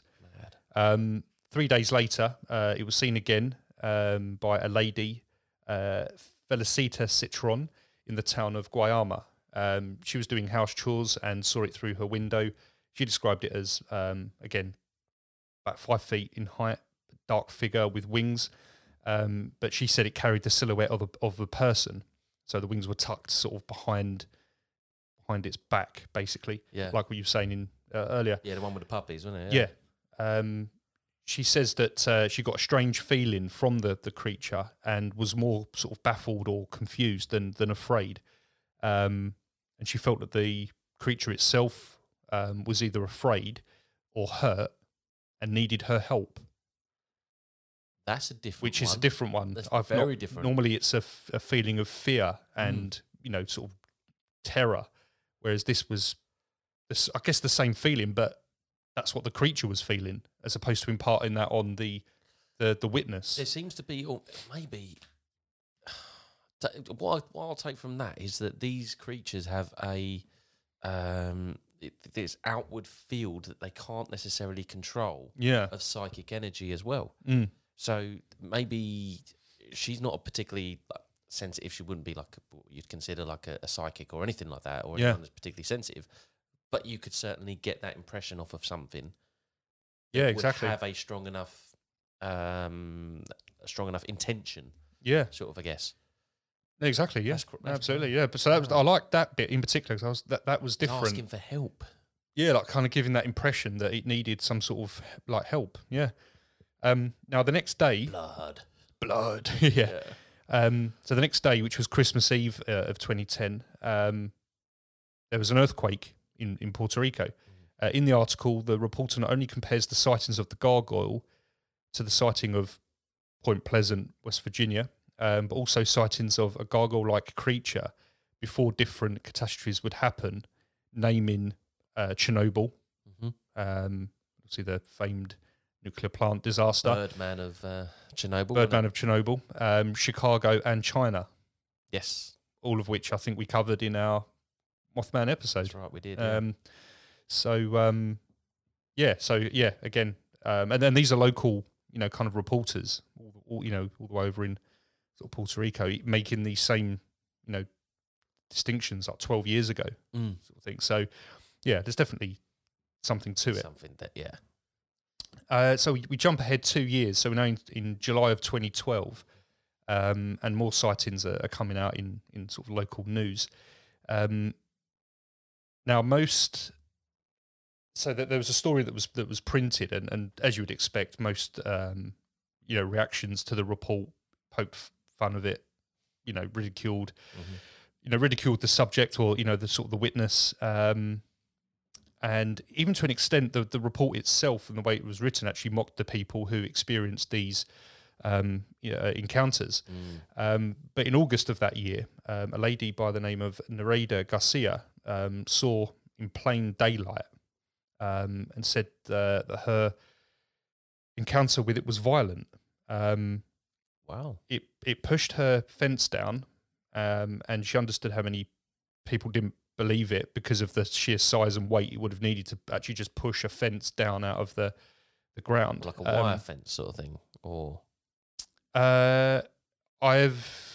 It's not actually the, the actual fence isn't mentioned, but I imagined it was going to be, yeah, like a, sort of four to six foot kind of cage like wire fence that would go yeah. around the outside of the properties that you see in metal the, framed. set, the states and stuff. I know this isn't America, but that, that kind of metal Yeah. framed. Yeah, 'cause yeah, We, we tend to have like wooden posts and Yeah. and that sort of thing. Really, Yeah. like uh, slats as our fences. Yeah, so that's that's what I um, pictured, wrongly or, or rightly. Um, she described it uh, having large claws, small horns, sharp teeth, and a large wingspan. Um, she said that she'd even feel the uh, felt the blows of air on her face and body from its wings as it flew away. Um, she took a photo, which, uh, as you would expect, came out blurry. yeah. um, but said that the encounter was, um, you know, horrific. Her main concern at the time was that she feared that it would hurt her mother and sister. But it's not actually clear whether either of them actually saw it or whether it was just the, you know, the the, the daughter. yeah. Um, if they did see it, then they weren't seemingly weren't questioned as as part of the um, report. But I guess for your benefit, that's a, a screenshot of the um, Of the picture. the photo. so a, pho- a photo of a photo. It's a photo of a photo. Yeah. Yeah, that. So you can see looks like something it's- with its wings it's definitely blurry, but you can see the humanoid sort of shape with the the large sort of Yeah. wingspan. Um, so uh, yeah, which I thought was quite um, thought was quite cool. Um, and yeah, they they just they keep rolling in really. So again, the, the same year, a security guard this time um, came forward anonymously under the guise of Jose Luis, um, claimed that he knows um, you know that that he you know sort of saw a gargoyle um, and again described it as dark uh, very large humanoid silhouette with wings um, you know up in up in the sky he knows people don't believe him and that's why he wanted to be anonymous Mm. um, but the and again this links into the canine um, uh, descriptions Oh, I see. that's an artist's rendering um, of uh, of the Guanica gargoyle. So Yeah. what these people have seen. So again, you've got the sort of the canine. Kind of looks like um, kind of looks like a wyvern sort of thing. yeah, yeah, With a with a small small tail. yeah, um, canine like, almost like Yeah. um, uh, an English bull terrier sort Yeah. of sort of profile. with that long sort of snout, protruding Yeah. snout. Yeah, but then you've got the bat-like sort of wings and Yeah, the dog-like tail and yeah. So I thought that was quite um, yeah. yeah, so I thought that was quite uh, quite interesting. Um, now, one one guy actually came forward and, and like sort of publicly. Um, his name was Eric Ramirez, um, and you'll like this bit because he said that he would see uh, UFOs at the same time that other people would report seeing the gargoyle, Ah, and um, yeah, he had a lot of um, yeah, a lot of photos um, to to prove it. Um, do you think it's another one of those things of it depends on who's looking? depends on who's looking because yeah and that that ties in nicely actually because his own belief is that and I think you'll like this his own belief is that it's an experiment but not by us he believes it's an alien experiment from DNA taken from beings of earth um, aside from the gargoyle uh, the chupacabras um, that were seen again at around the same time he believes that they might they too might be linked. So he's another one that, that firmly believes in it. Mm. Um, Ronaldo Rios, who we mentioned earlier, the, the ufologist, um, he's been tracking the gargoyle since it was, you know, first reported um, when the, the police first approached him about it. Um, and it's one of those things where he, he sort of said that many people know about it. A lot of people have seen it, but they're all too afraid to come forward, which is, you know, pretty standard in these types of things. I mean, even even our listeners uh, remained anonymous. Yeah. So it just goes to show that people don't want the, you know, the kind of the the heat or the They don't you know the the ridicule that might come from, you know, believing in um, you know, in these uh, in these types of things. And uh, correct me if I'm wrong, but Puerto Rico is not a large island. No, I don't think really no. not. It's quite a small island, and there's all of these sightings. Yeah, well, there's a there's a picture actually that, I, that I'll show you. It's a it's a map of the island, Mm. and it, it shows you um, sort of where the various different gargoyles uh, have been uh, sighted, Yeah. and it will give you an idea on the, the general area of the the island. It's, yeah, in the scheme of things, it's not massive. Yeah, No, it's not, is it? It's not like Yeah. it's not like the British Isles or anything like that. It's, No. it's much much smaller. Yeah, exactly. Yeah. Um, now, this uh, ufologist also said that a lot of police agents uh, and authority figures are, are also involved in a lot of these reports and providing with, you know, good information, but they all ask to stay anonymous. So it's hard to kind of give it any credibility when you can't give people's sort of names to it. It just Yeah, because if you if you you're like, oh, I've heard this story, but oh, I can't tell you. Told me though. It's like, oh yeah, all right. Yeah. yeah, okay, here we go. Yeah. Like So I can get the skepticism yeah to a you, point. If you can't compa- like if you can't put a name on it, Mm. it's just as good as anecdotal. Well, yeah, evidence, isn't it, yeah, really? exactly, yeah, um, yeah. Um, th- so that's yeah, I think that's quite um, yeah, quite interesting. Um, in September of that year, so 2012, again, the more more people were seeing the the creature flying around, um, but more people were starting to come out and claim to have had encounters, um, you know, with it.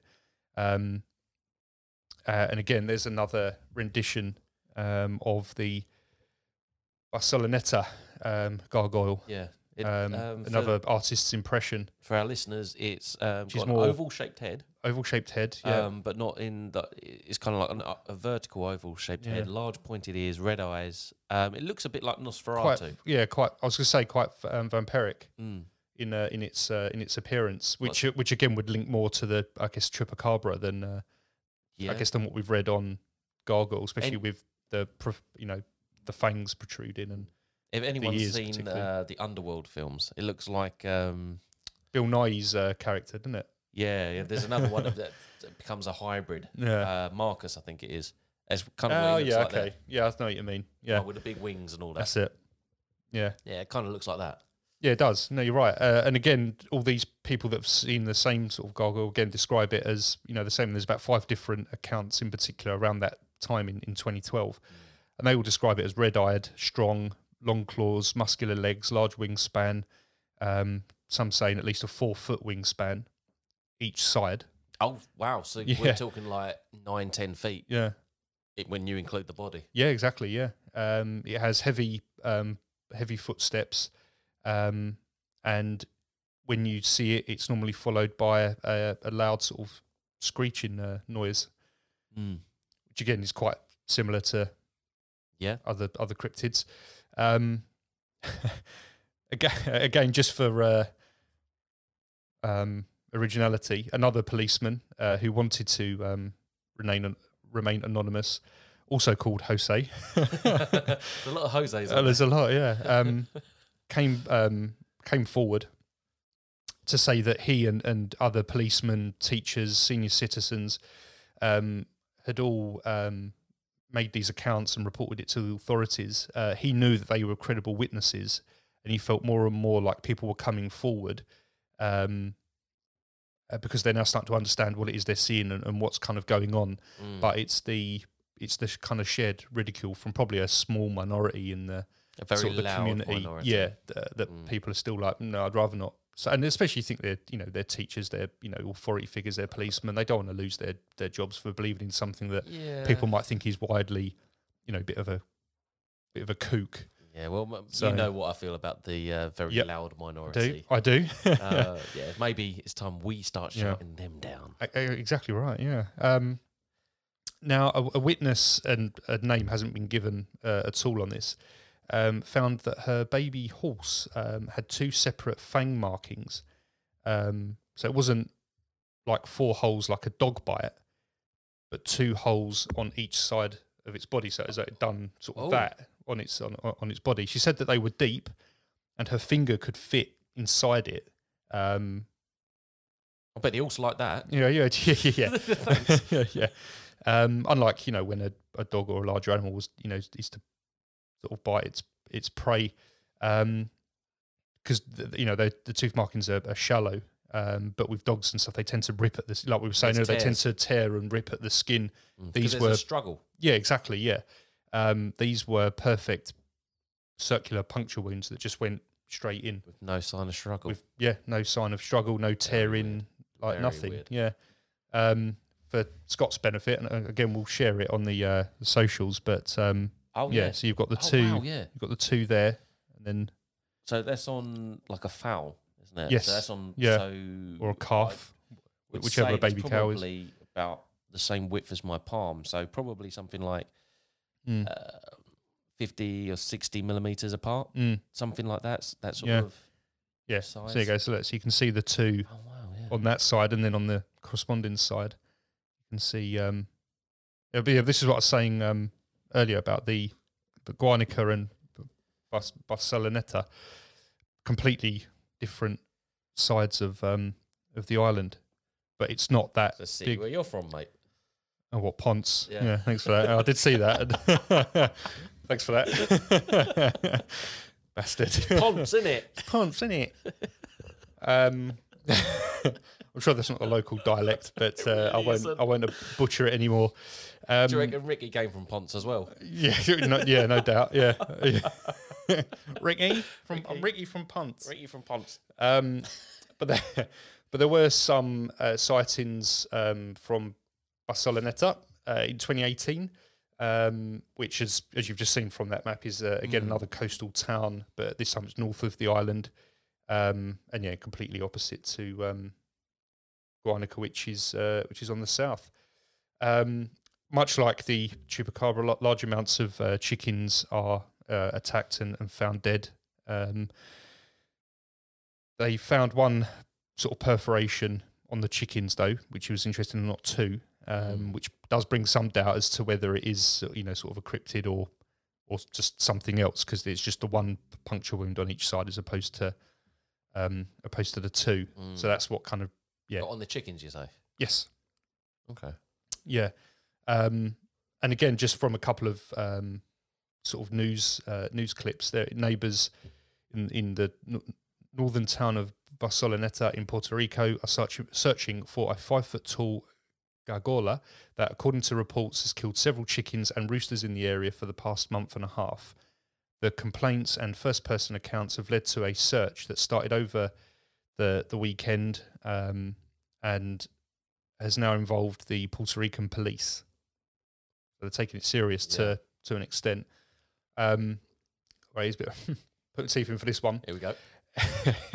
Resident Edgardo Santiago Rodriguez described the gargoyle as a bodybuilder in animal form. Very good.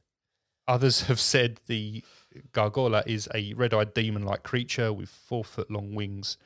Uh, Santiago uh, told Primera Hora he was in his pool when he saw the gargola. The attack seems to be the same kind of for every victim in the area bite on the neck from where the creature sucks blood and leaves the animals hypnotized. So, um, Very strange. which again, yeah, he's very chupacabra esque. yeah. Um, and Very he, vampire esque. vampire esque. Vampire, yeah, isn't it? it's yeah, yeah, absolutely. No, you know, it is. Um, now I think I'm sure I've seen these pictures before, um, but uh, a lady in Barceloneta um, who lives up in the hills um, was out in her backyard and Mm. saw what she believes to be the Barceloneta gargoyle flying over her backyard. Yes, we saw No, I'm sure I've seen these before. Mothman. We, Yeah. we we got these out for Mothman, Yeah. didn't we? I mean, that's pretty Yeah, I've seen these. compelling, isn't it? I mean, it's it looks like a, a long humanoid figure with you know sort of quite Yeah, a great it, wingspan. I remember the explanation. Mm. They said that it was an owl, a great owl, a large owl, Yeah. um, that had caught a snake. Is that the one? That's the I knew. I'd seen it. Yeah, that's yeah, the one, okay. yeah. Yeah. Yeah, so the, so for our listeners, it's uh, the silhouette of what looks like a winged creature with um, Mm. long legs, um, sort of trailing behind it. Yeah. So what various different experts have tried to debunk it have, said Yeah. that it's a large owl that has um, captured a snake, and that Yeah. the, the the trailing legs are the snake. Yeah, basically, yeah. Yeah. Um, yeah. So again, much like the um, chupacabra, many you know animals um, have been found dead in uh, Barceloneta, horses, chickens, goats, uh, and the like. Um, our listener has sent us um, multiple photos of um, their chickens, basically. um, but there were more than 50 um, that were reported to have been killed by way of their blood being drained. Mm. Um, an eyewitness, an, put my teeth in. Put your teeth in, babe. An eyewitness thinks that there is more than one of these particular creatures because the, the sightings are becoming more and more common for it to be the work of just one creature. yeah. Um, and and now you know multiple, like dozens of people have, have seen it. Um, and the our, our listener wanted to sort of mention uh, or bring to our attention that it's important to mention that there are caves in the mountain range region of that area. So could be a Ah. potential origin of where they're coming from, where they're you know disappearing to. Yeah. Yeah. Um, Well, basically, we've got our theories about cave I've got yeah, systems and, and got our own like theories on that. Yeah. Um, and then yeah, it, within the report, um, yeah, she's just provided us with a couple of pictures of like witness uh, drawings of what they saw, uh, a couple of screenshots from uh, found footage of Mm. people inspecting their land. and, You know, the chickens are, you know, being drained. Um, a four to five inch claw was um, was left in the uh, in the mud Oh wow. on uh, on someone's land, which okay, uh, so looking could at- otherwise not be uh, identified. we're looking at um on this guys. We're looking at a four um toed print that Mm. measuring around about Yeah. four inches in length. Four to yeah, about four and a half inches in, in length. Yeah, The, the the the toes are quite thin. mm. Um, so it's not any. It's definitely not a canine print. I mean, I'm no expert, but I can tell No. that's not a canine print. Um, if it's a Or- bird, it's a, and it's a certainly not a big big, old bird. certainly not a big cat either. no, Um, because there are no pads on it. no, but you there's there's at least three definite claw marks there Mm. as well. yeah, definitely. Yeah, so that's um, yeah, that's uh, certainly interesting. Um, so yeah, so this this uh, Ronaldo Rios basically he says that the the ridicule um, and the the name chosen has, has been part of the reason for a lot of these photos being you know called fake and yeah like the continued you know ridicule from from certain people. Um, he said it all professional skeptics like Yeah. Michael Shermer. yeah, basically, yeah. yeah. He said it took a lot away from the real work and, and research that was being done on these uh, sightings, um, especially because uh, there are now reports of something very similar in Mexico and uh, Chile, Yeah. as you rightly went over not too long ago, which now sort of is is helping bring a bit of credibility to the reports that were in uh, in Puerto Rico. Mm. Um, now, just to um, just to end, actually, um, in 2019, um, more than 2,000 tremors and earthquakes shook the island of Puerto Rico, leaving you know sort of complete chaos and many people without homes. Um, experts say that although Puerto Rico is inside a seismic zone where two tectonic plates shift and push against each other, the quantity is very unusual. Oh, so okay. the fact that that many uh, is happening, I'm assuming despite the fact of where they are, is yeah, I'm assuming it'd be the North American plate and the North Atlantic plate Yeah. that are yeah. on that sort of fault line. Mm. yeah, so the seismic activity is it, you would expect Yeah. it on those on those Yes, lines. you'd expect something, but not to the quantity that they had in one year. Two thousand separate occurrences. that's a lot of- in one year. Yeah, yeah.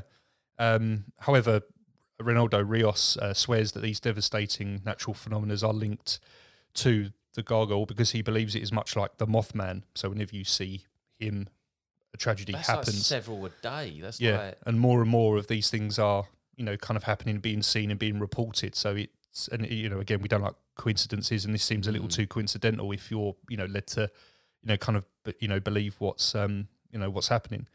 Um, so yeah, it's um yeah, it's an interesting one. Yeah, um, some local theories uh, believe that it's a bat. Um, there are 13 species of bats in Puerto Rico, but none are of a giant species. Uh, I think the vampire bat or the f- uh, There's a fruit bat, which is fruit bat. Fruit bat is also known as the flying fox. so there are fruit bats um, which can grow sort pretty of large, but they don't attack other animals. Obviously, only eat fruits and insects. They also don't drink blood, um, and I think more importantly, they don't get to that size either. I mean, they're big, Mm. but they don't get to five foot in height. They do have a canine-like head, They do, hence why they're called Yeah. flying foxes. yeah, yeah. But again, they're, they're, again, it's the size for me that they're elusive and they only eat fruit Yeah. and, and bugs. So, Mm. Mm. Yeah, absolutely. Yeah. Um, other theories um, believe that it's actually the chupacabra of the 90s, which is now known as the gargoyle, and that it's somehow kind of uh, evolved with the, you know, kind of like the wings. Um, animal ritual um, sacrifice cover ups, which I know you covered in the chupacabra episode, Yep. uh, which I also found stuff on. Um, the one that I quite like um, is that it's a genetically engineered animal that lives in the cave systems um, and does not need to eat that frequently, uh, which is why they're only seen at certain times, you know, sort of through the years because they just come out when they need to to, like to hunt. sounds like they're, they're they're needing it a lot more But- frequently now. But yeah, they're getting hungry. if yeah, there's like a maybe like a multiplying population. yeah, exactly. Yeah, yeah, absolutely. Yes, that's one. And the last theory is that it's a prehistoric bird, uh, which I did actually read somewhere else as well. A, a tetrasaurus or something, but basically a pterodactyl, but it Mm. had a different it had a different name, Petrosaurus or Pterosaurus or something. Um, but yeah, basically they, they believe that it's a prehistoric bird, an animal species unknown to us and yet undiscovered. Um, but many people think that that's um, impossible um, for it to be an unknown breed of an animal. Um, Well, oddly enough, there's some really saying- weird. Sorry, there's, there's some really weird stories coming out of the the wild, wild west yeah, um, of people seeing flying reptiles, and yeah, I know. Yeah, and was, I've read I've read that a lot. That came up actually. I can't remember the um, the the the name of the author, but there is a, a book out there by the name. It's like dinosaurs and cowboys, or cowboys and dinosaurs, Yeah, or something like that. And it's it's I love that. Sounds that- like a shit film that, that needs to be like made. cowboys versus aliens. yeah, exactly. Yeah, but with dinosaurs. So with dinosaurs, oh, yeah, someone's got. It's going to be on Amazon. yeah, I'm going to find it. It will be there. yeah. I'm gonna we need to be. it. We need to. I wish I was well good at podcasting, but filmmaking as well would be great because we could make some really good shit films. I know, right? but yeah, the, in, Yeah. in, there have been some real accounts, and even Yes, people have, yeah. shooting down. And apparently, there's a picture out there yeah, of these guys posing with yeah, something that they killed. That is a it's a pterodon. yeah. basically. Basically, yeah. There was one from like the 1800s, That's- wasn't there? I Is that the one you're one talking I'm about? Yeah, yeah, yeah. You know, I've seen that one. Um, so yeah, so many people f- on on the island think that it's impossible for there to be an unknown breed of animal. Um, but our, our listener sort of puts that it wasn't. You know, before the 1900s, gorillas were thought to be mystical. Mm. until it was actually proven That's that they existed. So it, you know, it, it can happen. Um, so yeah, so they're yeah, so they're um, four sort of compelling theories. Um, I like the genetically modified cave dwelling uh, one The real world sort, sort of of the most out of um, out of those four in particular. But um, but yeah, so that's the, that's the little uh, sort of field report provided to us by um, our listener. So some local our, Puerto report- Rican our uh, reporter in the field. our correspondent in the field. Yep. put that uh, put that together, and yeah, I mean, like like you saw, it came with photos and, and references and everything. So um, Very in depth. Thank you very was- much. yeah, that was perfect. So yeah, thank you again to listener for providing that. Um, yeah, it was good. It, it adds credibility to what we were going over. Adds a different, you know, sort of dynamic. It also reiterated a lot of what you said from you know the sort of the Chile, you know, sightings and Mm. and whatnot. So um, yeah, no, it was um, fantastic. So yeah, thank you for uh, yeah. putting that together. It was Oh. uh, it was good. Yeah, it'd be really good. I mean, um, I suppose we usually reserve this part for getting off the fence, but I think we've kind of done it. As I think we've have- along again. Kind of done it as we've gone along. It's just one of those that you can't help but sort of give your um, you know opinion to it. Mm. Um, you know, at the end, you kind of find yourself doing it as, as you're going through. So, I guess um, in conclusion, Yeah. um, um, in, yeah, in conclusion, I guess, um, yeah, ag- ag- again, you can't, I can't go through and in feeling that there's a certain element of truth to you know these cryptids, um, and then sit here and you know discount this one. You know, there's far too many witnesses, far too many accounts, reports, photographs.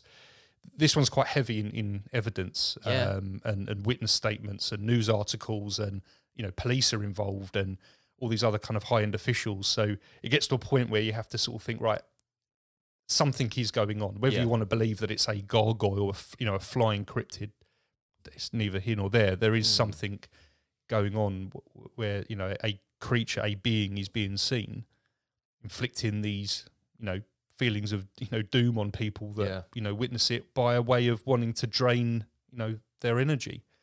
Um, you know, as as you know that theory from Puerto Rico goes, you know, they they come out every now and again only to feed. So Yeah. is that why so many chickens and cattle and, and goats are all sort of found dead at, at one point? Flaps. Because Yeah. yeah. No pun intended, I'm sure. not this, not this time. No. So they um yeah, so they, they they assuming they you know they are cave dwelling, you know, they they come out every every so often, Mm. do a, a mass, you know, a, a, Mass a mass uh, shop, yeah, Yeah. bulk shop, and uh, you know, obliterate a load of farm animals and then disappear again for a year or It's very a couple of um, months. It's very horror movie esque, isn't it? In, in that in that sort In of that respect, yeah, respect, because yeah. again, you like the creeper, the and, creeper. yeah, Yeah. every ten year, one like it, you know, every twenty five years, every ten years, there's always these kind of yearly Cycles. patterns or cycles. That's right, of, Mm. of when these things, you know, Oh, yeah. sort of come out. Everything's So cyclical. Yeah, Everything. Yeah. Like, all of this stuff that we're finding, all, all, of these bits of evidence. I mean, I'm, I'm amazed by how much evidence there is in Puerto Rico, and yeah, yet knew so little about it until we started looking. exactly. into it. Until we were pointed in that direction, until we started looking, and yeah, it's. Um, I mean, stellar work mad. by by our listener. Stellar Oh work. yeah, fantastic! It's I mean it's stuff that we never would have found because we would we wouldn't have been able to read the bloody stuff. So yeah. the fact that they've not only found it but then gone to the trouble of you know translating it for us is um yeah it's beyond amazing. Yeah. So it's it's brought stuff to us that yeah we wouldn't necessarily have found through Our own lack means. of yeah yeah exactly Yeah. by our own means yeah so um yeah and as you say it's a small island so for so many accounts you know witnesses you know events that have happened all pointing to this one thing you know, Mm. you have to you have to i think you have to believe in Yeah. it to an I mean, I like I like all- all of the theories. To be honest, I like all. I think all of them in some way, I think they could all work. are plausible. yeah absolutely Um, I don't know exactly which one I I, I prefer. I don't, Yeah. I'm not sure. Um, it's the lesser of four evils i think if you were to stick with those four so, yeah. sort of theories really i don't think e- either one is you know is, is particularly great you know i think if we stick to or if i stick to you know my theory on a lot of these other sort of cryptids then i'd be more inclined to go down the sort of the interdimensional do sort you know of what I've, route I've found personally since we've since we've been doing since we've been doing this and we've been doing, doing Mm. this over a year now. yeah I had some solid ideas in my head when Mm. we first started. so did i And uh, yeah, I know, yeah, yeah, very, very different ideas Very between us. Um, but I've noticed that as time's gone on, and we've looked at loads of these, loads of these other different cryptids Yeah. going through the past year or so, that my ideas and theories have Mm. become more fluid, yes and, definitely that I, and they haven't been able to settle. yeah and I haven't been able to settle on okay, this fair. is what I think is happening Mm. because there's so much that is happening. Mm. I think you'd be, I think you'd be remiss Yeah. into into thinking and into to, to putting it down onto one thing, into one Yeah. idea. Exactly. Yeah, I think You it know. lends itself to too many, as, you, as as I think what you were saying, to yeah, to kind of put your finger on right. It's that theory. Yeah, That's what I believe. That you know, because you could look at all four and think, well, yeah, there's elements of that, and there's elements actually of that. So you know, so it's it's what we love about high strangeness, I suppose. indeed. It's hi- highly strange. Highly strange indeed. and you, you can't yeah you can't sort of put your finger on it but Yeah. yeah, i guess to i guess to to close that it's um yeah, there's definitely something going on. There's definitely you know something out there. Um, I guess we'll never know really, what, you know, what it is. Um, you know, until Hopefully one day we'll know. until someone have does manage to get hold of it. But uh, All those uh, ologies need to start speaking to each other. yes, exactly. Yeah, exactly. Um, yeah, so I guess that yeah, that's that's kind of yeah. I suppose it's getting a bit boring now of all these cryptids are sort of saying coming off the fence on the in the same uh, in the same way. But um, yeah, I, it's I think it is very much uh, very much the same. Mm. You know, I think it's the interdimensional travel. Do they take the form that we sort of manifest through the, the emotion that we feel when we see it? So are they all horrific and Well, it depends on who's scary because it's all fear and terror, or yeah, or do they do it based on who's who's looking and they know that they're going to be looking back? Is it a manifestation of our own selves? You know, be going very Carl Jung Yeah, there. bit Jekyll and Hyde. Jekyll and Hyde-ish, I suppose. Yeah, yeah, I guess yeah, and it could be right. Yeah, that's that's. I don't know if you've got anything more to add, but no, no, I think I think we're pretty much covered on that, really. Cool. Okay then. Well, I guess on um, on that note, we can uh, we can close. So thank you as always for you know sticking with us. Um, I hope you've en- enjoyed this one. We've certainly had. There's been a lot of. There's been a nice mix of you know sort of some you know humour, funnier stories, a lot of you know compelling stuff, and Mhm. you know even bringing it back to our shores with you know tying in the King Arthur The element. That was a Arthurian stuff. particular yeah particular highlight for me. I did like that. I like a bit of that. And all. Um, and again, thank you to yeah, our listener for um, the field report. Yeah. it's yeah, it was excellent. It was really good to kind of read that and, and get a different perspective and a you know a different take on a on a legend that we otherwise wouldn't have, have known. So, so thank you for that. Um, as always, thank you to our uh, patrons, James, Justin, and Monica.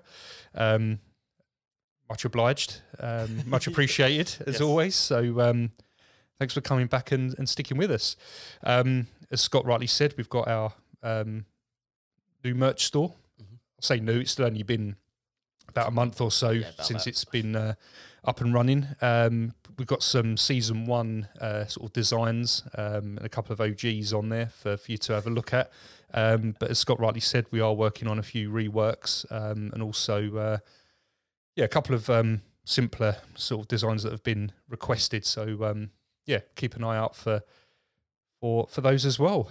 Um, and if you are interested in in in supporting us, um, see we are on on Patreon as, as we've announced. So um, yeah, just head to patreon.com forward slash cryptid ramblers podcast.